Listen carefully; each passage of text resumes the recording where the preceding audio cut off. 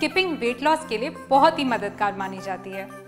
और सबसे अच्छी बात यह है कि ये दिन के किसी भी समय और घर के किसी भी कोने में आसानी से की जा सकती है। वज़न घटाने के लिए रस्सी कूदना सबसे अच्छी एक्सरसाइज मानी जाती है। लेकिन रस्सी कूदने से आपका वज़न कैसे कम होता है, इसकी जानकारी होना बहुत ज़रूरी है। रस्सी कूदना वैसे तो सबसे अच्छी कार्डियो एक्सरसाइज है, जिसका असर बहुत धीरे लेकिन लंबे समय तक चलने वाला होता है। लेकिन रस्सी कूदना सभी के लिए आसान नहीं होता। हम सब ये काम बचपन में तो बहुत आसानी से कर लेते थे। लेकिन बढ़ती उम्र और मोटापे के साथ रस्सी कूदना थोड़ा मुश्किल हो जाता है।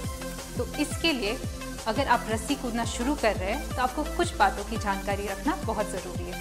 अगर आपका वज़न सामान्य से ज़्यादा है तो ये काम आपके लिए थोड़ा मेहनत वाला हो सकता है। लेकिन अगर आप 10 से 20 मिनट भी स्किपिंग रोप यूज़ करें तो फिर आपकी ये बहुत ज़्यादा कैलोरीज बर्न करने में मदद करेगा।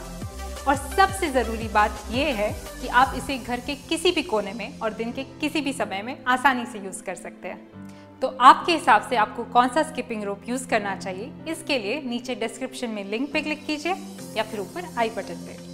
स्किपिंग करना एक बहुत ही अच्छी एक्सरसाइज माना जाता है, लेकिन इसका असर धीरे धीरे बॉडी पे दिखता है। इसीलिए आपको इसे लंबे समय तक और रेगुलरली करना है।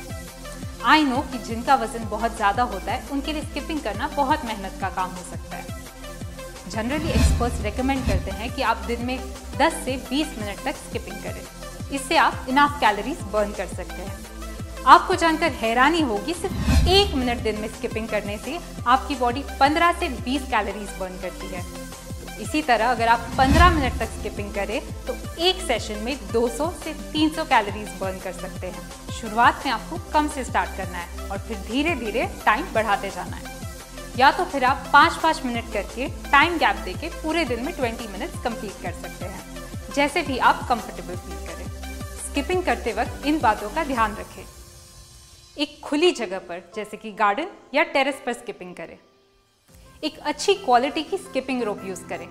मज़बूत, पकड़ने में आसान और बेहतर क्वालिटी की स्किपिंग रोप आपके लिए बहुत बेहतर होगी। और इसी के साथ ये ध्यान रखिए कि प्लास्टिक की स्किपिंग रोप ना यूज़ करें। अपनी हाइट के हिसाब से स्किपिंग रोप यूज़ करें। स्किपिंग करते समय अपने पैरों पर या घुटनों पर अधिक दबाव ना डालें। एक बार में 30 से 40 बार ही रोप खो दें। उसके बाद थोड़ा ब्रेक लें और फिर दोबारा स्टार्ट करें। हालाँकि जब आप इसकी शुरुआत करेंगे, तब आपको बहुत सी मुश्किलों का सामना करना पड़ सकता है। पर कोशिश करें कि आप दिन में कम से कम 10 मिनट स्किपिंग करें और धीरे धीरे इस टाइम को बढ़ाते जाइए। तब आपके मसल्स बहुत अच्छे से टोन हो जाएँगे। ध्यान रखें कि पेट की चर्बी कम करने के लिए आप पेट को टाइट रखकर ही स्किपिंग करें। इसी से आपको ज़्यादा फ़ायदा मिलेगा। खाली पेट या खाना खाने के तुरंत बाद स्किपिंग ना करें।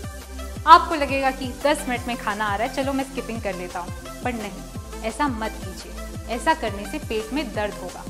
तो ध्यान रखिए कि खाना खाने से दो घंटे पहले या फिर दो घंटे बाद ही स्किपिंग करें। हर्निया, दिल की बीमारी सी सेक्शन प्रेगनेंसी या एक्सट्रीम घुटनों का दर्द हो तो इसे प्लीज़ अपनी डॉक्टर की सलाह से ही करें। रस्सी कूदने के फ़ायदे। रेगुलर स्किपिंग करने से हार्ट रेट बढ़ जाती है। जिससे हार्ट स्ट्रांग होता है और कार्डियोवैस्कुलर डिजीजेस का रिस्क भी कम हो जाता है। रस्सी कूदने से ना ही आपकी बॉडी में बैलेंस बना रहता है, बल्कि आपकी रोज़ाना की लाइफ में भी एक बैलेंस बना रहता है। रस्सी कूदने से ना सिर्फ़ आपके हाथ और पैरों की एक्सरसाइज होती है, बल्कि आपकी पूरी बॉडी की एक्सरसाइज होती है, जिससे कि पूरी बॉडी एनर्जेटिक हो जाती है।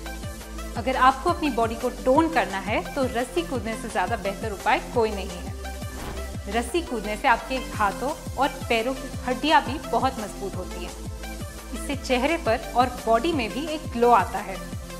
कैंसर टाइप टू डायबिटीज़ और बहुत सारी अन्य बीमारियों से बचने के लिए भी स्किपिंग रोप बहुत ही फ़ायदेमंद है।